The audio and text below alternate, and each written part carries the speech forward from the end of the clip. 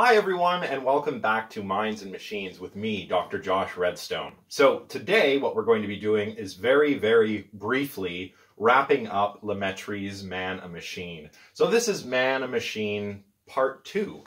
Now, um, a quick bit of recap. Remember that last time uh, we started out by talking a little bit about La Mettrie himself. Who was he? He was a materialist philosopher, and he was also a physician and he was also a little bit of a hedonist. Um, he apparently, the story goes, developed um, a gastrointestinal problem after uh, engaging in a bit of uh, Epicurean gluttony at a banquet held by the um, uh, French ambassador to Prussia. So, uh, a bit of a hedonist, definitely a materialist, also a physician. Um, and what we did last time was just take a brief look at some interesting uh, passages from Man Machine that captured his mechanistic view of the human being. Um, a little bit, uh, a few of the pas uh, passages kind of captured his hedonistic outlook. We certainly got a sense of his provocative uh, writing style. Uh, in fact, that's what we started with. The first passage we looked at was quite provocative, and La Mettrie continues in that style throughout this work. Um, and we talked um, a little bit about uh, non-human animal intelligence. Remember, La Mettrie, contrary to Descartes, says that man and animals, or human beings and non-human animals, I should say, are both machines. They are these all of these creatures are machines. They are machines with souls. So they're not soulless automatons. That is, animals are not soulless automatons, as Descartes believed. That's what we looked at last time.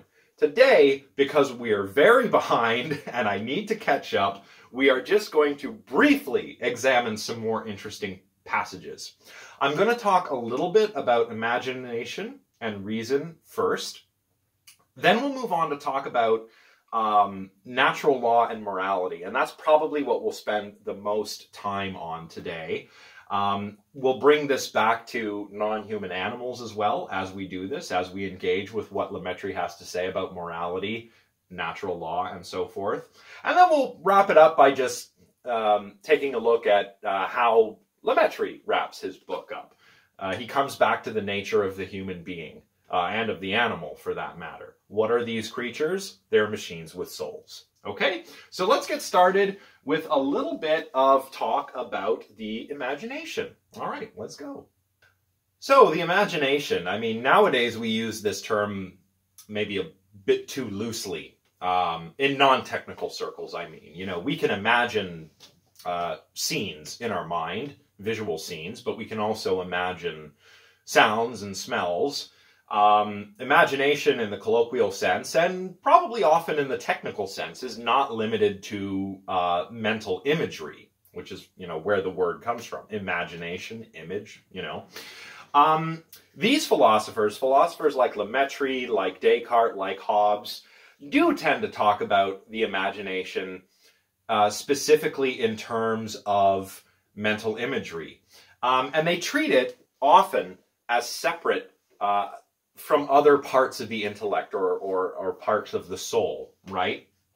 Uh, La Mettrie doesn't do that. La Mettrie says this of the imagination. He says, I always use the word imagine because I think that everything is the work of imagination and that all the faculties of the soul can be cor correctly reduced to pure imagination in which they all consist.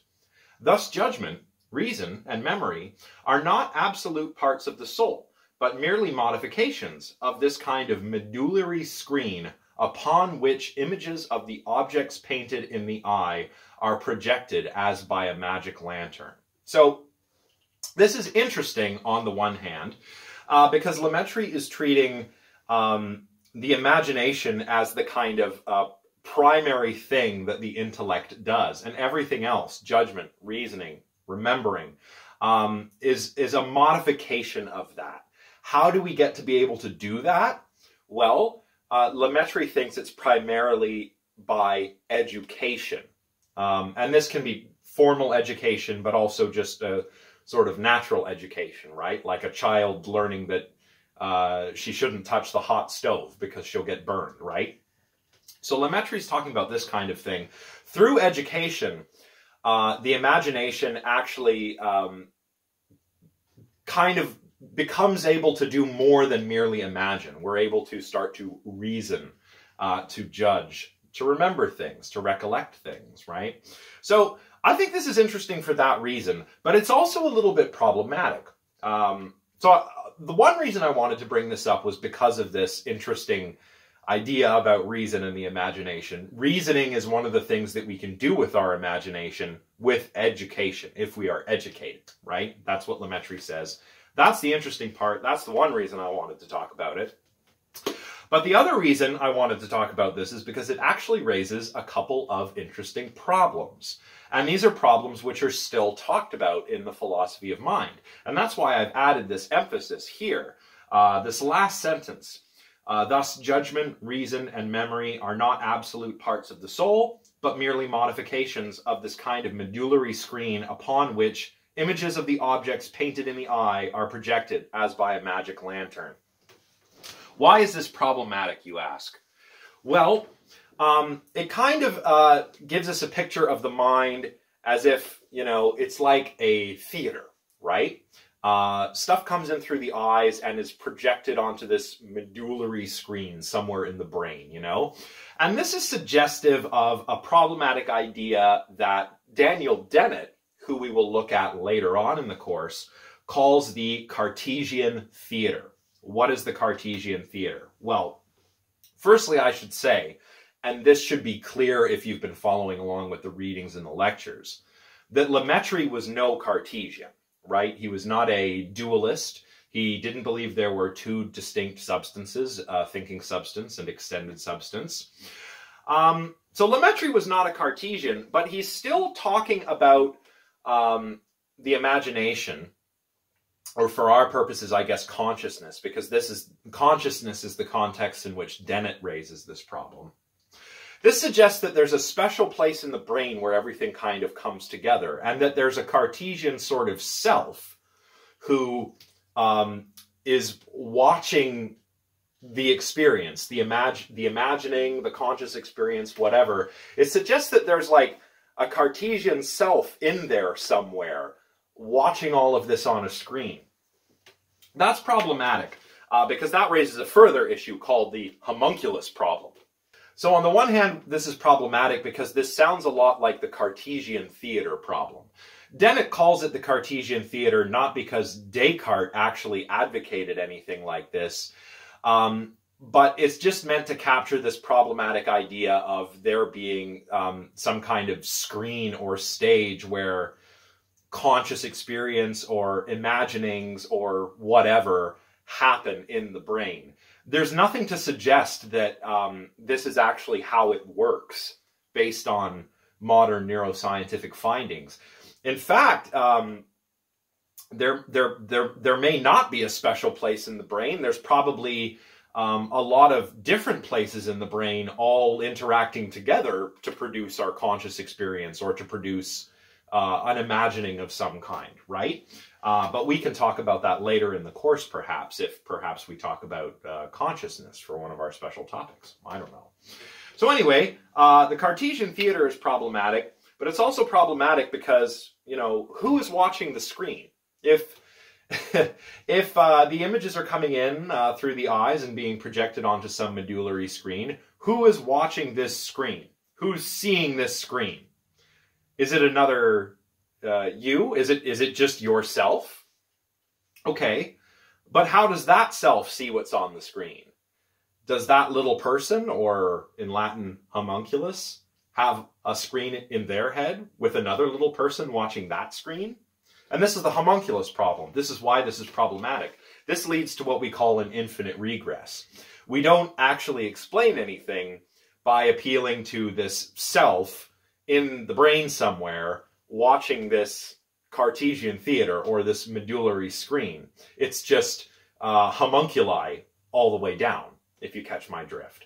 So I think what La Mettrie has to say about the imagination is interesting, but it's also a little bit problematic. I like that he says reason is just something we can do with our imagination. But as far as the imagination actually works, uh, you know, he describes it in a problematic way, in a Cartesian theater kind of way. I think that's what Daniel Dennett would say about this. And of course, he raises the homunculus problem as well. And it's good to know about the homunculus problem. If you ever go on to study uh, something like consciousness studies, uh, the homunculus problem will come up again, I'm sure, in the course of your studies. So it's good to know about. Anyway, um, that's all I'm going to say about imagination for now. We'll probably come back to imagination when we talk about natural law and whether animals have this. So let's move on and talk about natural law now. So as a little bit of a segue into his discussion about natural law, uh, La Mettrie asks, what makes humans special, right? If we are special. What makes us good at thinking using reason? What makes us capable of knowing the difference between right and wrong? You know, what is it that allows us to say that we have a conscience or some kind of moral center? Well, um, La Mettrie thinks that it's because we've got ourselves a really good machine, right? Nature or God, whichever, has created a being that possesses reason and morality by virtue of, um, you know, things like our imagination, our capacities to experience pleasure and pain. Um, and we can do these things because we have, or we are, the kind of natural machine um, that has these capabilities, right? That's why he says on page 109 that man's preeminent advantage is his organism. We are the kinds of organisms that have imagination and the capacity to experience pleasure and pain. And with a little education, we can do things like reason and, um, you know, live good lives, virtuous lives, and that kind of thing. On um, page 110, La Mettrie says, But if the brain is at the same time well organized and well educated, it is a fertile soil, well sown, that brings forth a hundredfold what it has received. Or, to leave the figures of speech often needed to express what one means, and to grace uh, to truth itself, the imagination, raised by art to the rare and beautiful dignity of genius, apprehends exactly all the relations of the ideas it has conceived, and takes in easily an astounding number of objects in order to deduce from them a long chain of consequences, which are again but new relations produced by a comparison with the first, to which the soul finds a perfect resemblance. Here, La Mettrie is saying a little bit about how he thinks um, the imagination, with some education as well, allows us to reason about things, to make comparisons uh, between different things, to, to learn by experience, essentially. I mean, remember, La Mettrie is an empiricist. So, what about animals, though? Are we really special? Um, La Mettrie kind of thinks so in a certain respect, but also he doesn't think there is um, as big a difference between humans and non-human animals as most thinkers at the time, certainly thinkers like Descartes, thought. Um, he writes, for example, on page 113, In spite of all these advantages of man over animals, it is doing him honor to place him in the same class. It is doing humankind an honor to say that humans are animals, in other words. To continue, for truly, up to a certain age, he is more of an animal than they, since at birth he has less instinct. What animal would die of hunger in the midst of a river of milk? Man alone. So um, we are basically animals, and moreover, um, we're very vulnerable in our early stages of life. I mean, think of when you're watching, uh, you know, David Attenborough, Planet Earth, right? See a baby gazelle on the savannah, it's born, and it's walking minutes later. And then before you know it, it, it can run away from predators with the rest of its herd. Uh, humans can't do anything like this, you know. Humans can't um, crawl or walk right away, let alone speak or do anything uh, that we feel is what sets us apart from animals. So that's what La Mettrie is saying here. And what is the difference, really, ultimately, between man and animals, or humans and animals? Well, it seems to be a matter of education. Humans can educate themselves. Animals uh, don't. He says of animals on page 114, Animals frankly glory in being cynics. Without education, they are without prejudices. For one more example, let us observe a dog and a child who have lost their master on a highway. The child cries and does not know what's, to what saint to pray, while the dog, better helped by means, or sorry, better helped by his sense of smell than the child by his reason, soon finds his master. So, you know, um, animals uh, not inferior to humans, uh, just different. And one of the important differences is that we have education.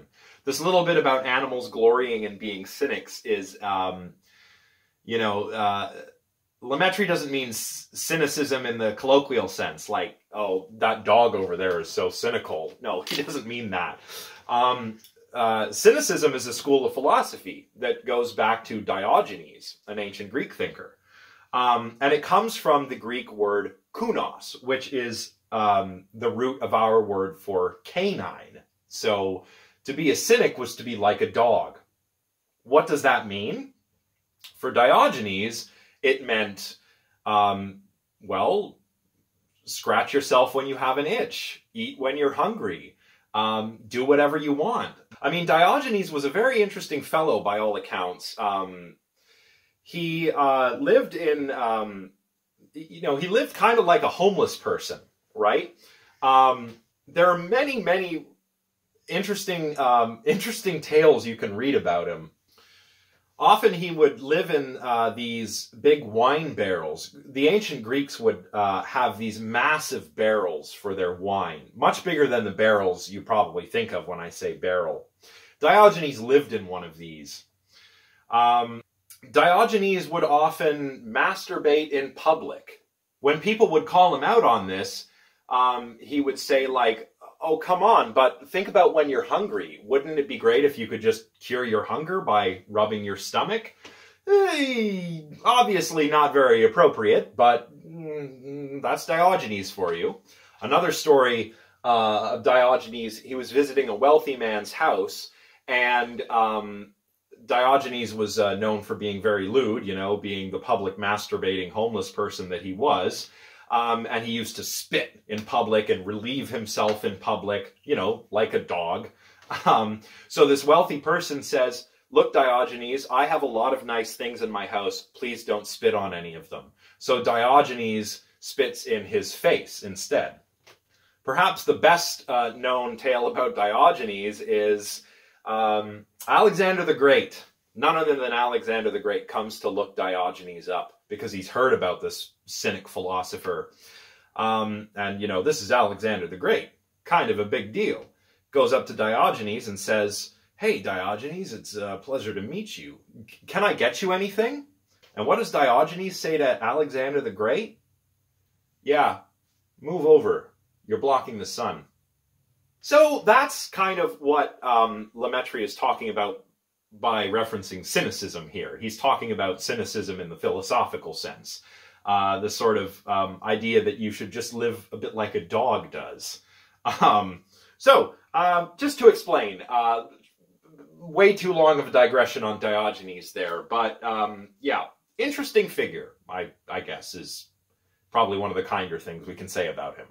Oh, uh, animals and morality. Okay, here we go. We're getting we're getting to the natural law stuff. This is one of the differences between uh, humans and animals uh, that, at least according to the theologians and the philosophers that La Mettrie is talking about, this is one of those key differences, you know, that makes humans special and animals not special. Humans have morality. We understand right and wrong.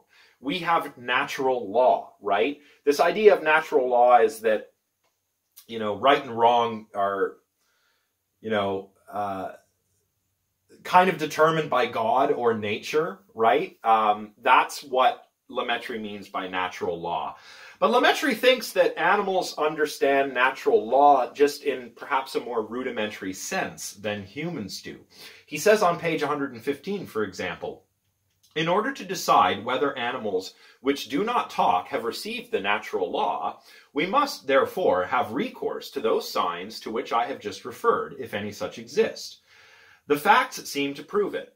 A dog that bit the master who was teasing it seemed to repent a minute afterwards. It looked sad, ashamed, afraid to show itself, and seemed to confess its guilt by a crouching and downcast air. Now, you might say, oh, we're just anthropomorphizing here. You know, what if, you know, you can look up viral pet videos of dogs looking guilty when they've done something wrong, right? Um, are we merely anthropomorphizing these dogs? Well, I don't think it's that unreasonable to, to say that a dog experiences some kind of dog form of guilt. Dogs are, after all, social animals, and emotions um, particularly moral emotions like guilt and shame and anger and these kinds of things are important for regulating social interactions. And that goes for human and non human animals as well. So I don't think it's that crazy to say um, the dog feels guilty or ashamed. Obviously, not in as sophisticated a sense as humans do, but in, in its own kind of rudimentary dog way, right? So yeah, I, I think I agree with La Mettrie here. He continues on page 117, talking about animals again. Uh, would its soul, which feeds the same joys, the same mortification and the same discomfiture which we feel, remain utterly unmoved by disgust when it saw a fellow creature torn to bits, or when it had itself uh, pitilessly, excuse me, dismembered by this fellow creature? If this be granted, it follows that the precious gift now in question, natural law, uh, precious gift to humanity, uh, would not have been denied to animals. For since they show us sure signs of repentance as well as of intelligence, what is there absurd in thinking that beings, almost as perfect machines as ourselves, are, are like us, made to understand and to feel nature? So, Animals are not as sophisticated as us, but if they were, uh, they would certainly understand the natural law in the same way that we do. And even though they're not as sophisticated as we do, there is actually behavioral evidence that they do understand natural law. And you know, La Mettrie is a bit of a, a, a you know, he's ahead of his time here talking about animals but just think forward to the early 20th century when we're talking about behaviorism again. Remember, we talked about behaviorism in our first lecture, and behaviorists thought that we couldn't say anything about the mind. Um, we could only talk about behavior. Here's La Mettrie using behavior to talk about um, what animals think about right and wrong and what they feel about right and wrong, more importantly. Very interesting. And you know, one thing that bears mentioning, of course, is that human beings are not perfectly moral at all, right? This should come as no surprise to anybody. Uh, La Mettrie says on page 117, for example, let no one object that animals, for the most part, are savage beasts, incapable of realizing the evil that they do. For do all men discriminate better between vice and virtue? There is ferocity in our species as well as in theirs. So La Mettrie is saying, yeah, I know animals are savage beasts, but so are we, frankly. Um, just think back to those uh, English eating their red meat, rare and bloody. Hmm? So basically, what La Mettrie is kind of arguing through this section is that if animals do not possess an understanding of the natural law, then neither do most people. Um, that's something you'd have to grant. Um, what is natural law anyway for La Mettrie? I described it earlier. Natural law is this sort of um, uh, divinely established uh, right and wrong, this divinely established morality. Uh, sort of like if morality is a natural thing. Um, but La Mettrie gets a little bit more specific than that. And if you read behind the uh, read between the lines here, you can actually see that he's talking about a kind of ethical hedonism, right? Remember, La Mettrie was a hedonism. And if you're a hedonist, there are many different types of hedonism. But if you're a hedonist, uh, what you're all about is, um, you know, pleasure, hedone, as the ancient Greeks said. You want uh, pleasure, and pleasure here means like aesthetic pleasure, emotional pleasure, so like happiness, the company of your friends, uh, love from your partner and your family, you know, this kind of thing, right? Um, so ethical hedonism, what is that? Well, on ethical hedonism, basically, the things um, which make us feel pleasure or happiness are the only things that are intrinsically good. Uh, things that feel bad, like pain, displeasure, are things that are intrinsically bad or intrinsically evil. Um, and if you combine this view with a little bit of compassion or uh, what's sometimes called fellow feeling, or nowadays what we might call sympathy or empathy, what you get is a kind of natural law that sounds a lot like the golden rule that we find in a lot of the world's major religions. In Christianity, it's, uh, you know, do unto others as you would be done by. Um, don't do anything to someone else that you wouldn't want to have done to you. Why? Well, you know it would feel bad if it was done to you. So don't do it to them. But do things for other people that would make you feel good, right? This is the kind of natural law that uh, La Mettrie seems to be talking about here. It's a kind of ethical hedonism. And that's why I think it was important to mention that he was a hedonist. Not just because, uh, you know, the story behind the way he died, but his hedonism also fits into his uh, his ethics, um, and we can kind of tease this out by giving uh, La Mettrie an exegetical reading here. All right.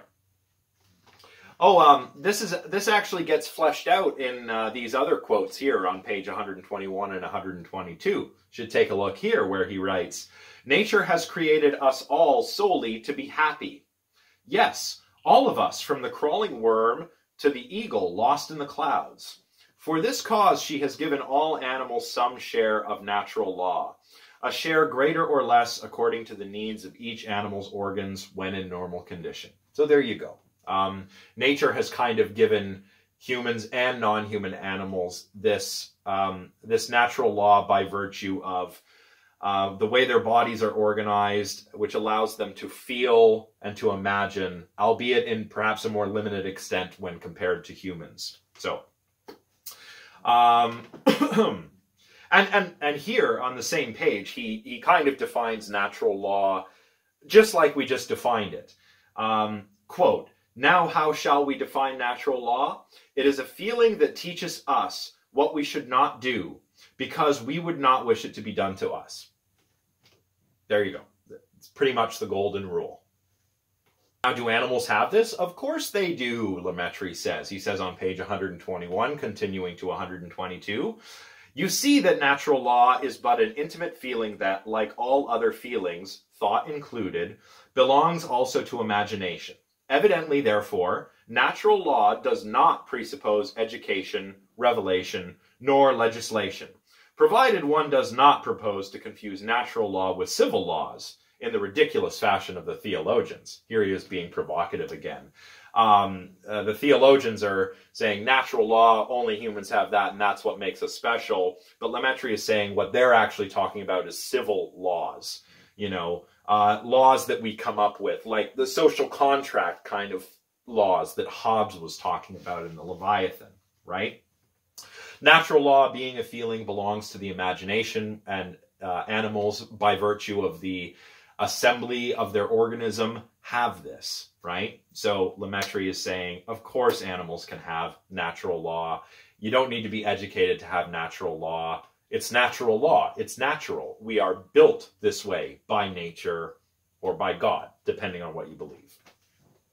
Well, before we wrap it up, I guess we got to talk a little bit about the soul, um, because this is minds and machines, and so many philosophers have treated the mind or the intellect and the soul as the same thing. So what does La Mettrie say about the soul? Well, well, on page 128, he says, The soul is therefore but an empty word, of which no one has any idea, and which an enlightened man should use only to signify the part in us that thinks. Given the least principle of motion, animated bodies will have all that is necessary for moving, feeling, thinking, repenting, or in a word, for conducting themselves in the physical realm and in the moral, bleh, in the moral realm, which depends on it. So there's a bit of a similarity with Aristotle here, don't you think? Um, and, and I think this is very interesting because, I mean, La Mettrie's not an Aristotelian. He is a physician. And Aristotle was, uh, if I'm not mistaken, also had some medical training. His father, Nicomachus, was a physician uh, to the king of Macedonia. And one thing I can say for certain about Aristotle is that he was a zoologist. In fact, he was the first zoologist. um, after parting ways with Plato, he spent a lot of time studying the natural world and, you know, vivisecting all the creatures he found. Hmm. Anyway, I think I think it's just interesting because um, you know there are parallels between Aristotle and La Mettrie here in the sense that they're all about um, the you know the soul being able being it being what it is by virtue of the organization and function of the organism, right? Um, uh, La Mettrie doesn't uh, have the, uh, this idea of a tripartite soul like Aristotle did, but there are some interesting parallels there. And that's probably because both of these thinkers were very empiricist, right? That's what I think. A couple of other things you should take a look at following this if you want um, is La Mettrie's list of mechanistic functions of the body on page 129 to 131 or so. He talks about, um, you know, for example, muscles that are separated from the body. If they're stimulated, they will move. Um, uh, if you um, apply heat to the flesh of certain uh, dead fish, they'll flap around as if they're swimming. Um, if a frog's heart is stimulated, it will beat. You know, um, things like this. Um, uh, things where after life has ended, um, bodily machinery keeps on ticking, right? I think he even mentions being guillotined um, as well. You know, there are some pretty horrific stories of um, people being guillotined where, um, you know, the head just doesn't lifelessly drop off. Uh, it struggles to, I don't know, perhaps scream for uh, a while after it's been severed um, kind of like um, how uh, a chicken's body might run and flap around if its head is severed. So, uh, yeah, very morbid, very gross, but uh, very mechanical. So take a look at that list if you have the stomach for it. What does he say, finally, about the human being? Well, on page 143 and 44, La Mettrie says, To be a machine, to feel, to think, to know how to distinguish good from, good from bad, as well as blue from yellow, in a word, to be born with an intelligence and a sure moral instinct, and to be but an animal, are therefore characters which are no more contradictory than to be an ape or a parrot and be able to give oneself pleasure. I believe that thought is so little incompatible with organized matter that it seems to be one of its properties on a par with electricity, the faculty of motion, impenetrability, extension, etc. Very, very materialist here, and also a lot like Aristotle, once again. What is the soul? The soul is something we have in by virtue of our body's organization, and that includes the brain. The part in us that thinks can do what it does because the matter that we're made of, all this water and carbon and everything, this meat machine in our brain or in our skull, is organized such that we can think and that we know right from wrong. So we are machines, essentially. And so La Mettrie closes by saying on page 148, 149, Let us then conclude boldly that man is a machine, and that in the whole universe there is but a single substance differently modified. This is no hypothesis set forth by dint of a number of postulates and assumptions. It is not the work of prejudice, nor even my reason alone. Ooh, shady.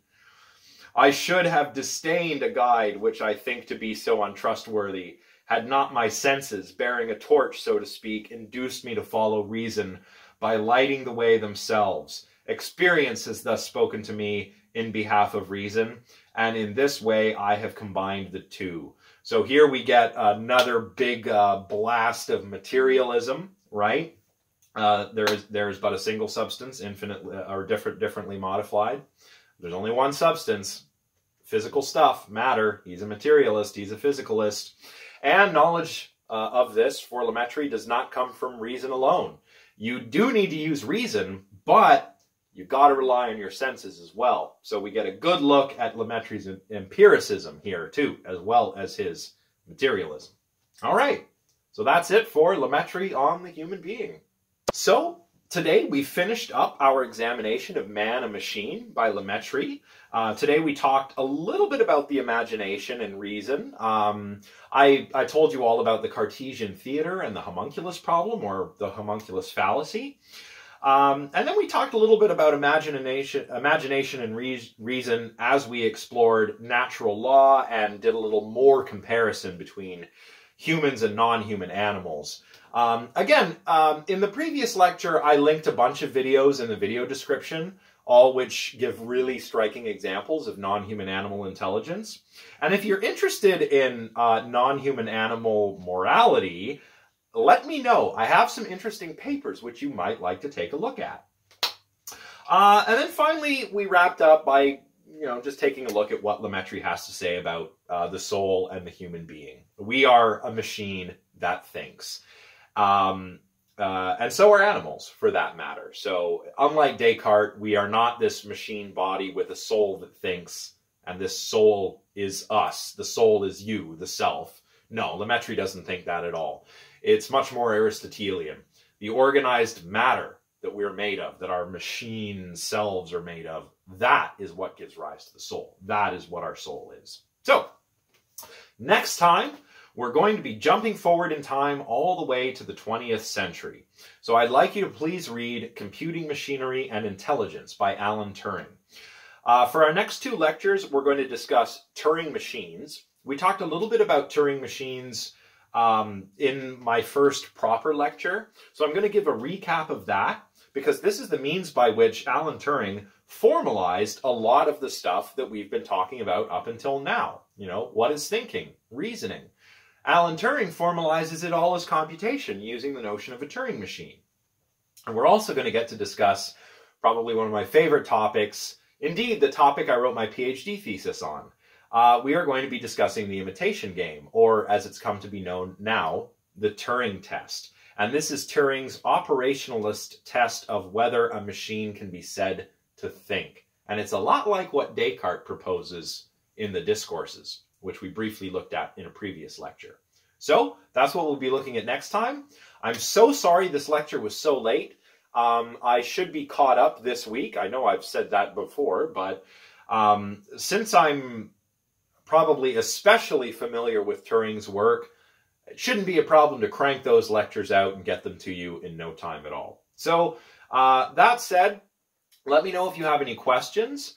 Um, and I will see you all next time when we'll begin talking about Alan Turing and his Turing machines and the Turing test. Okay. Bye for now, everybody.